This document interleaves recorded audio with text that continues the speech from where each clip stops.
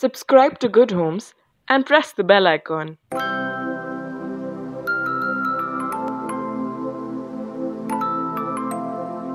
Hi, my name is Richa Talwar and I'm the founder of Sustenance. We are an artisanal food brand where we specialize in all natural granolas, gift boxes, baked goods and jams.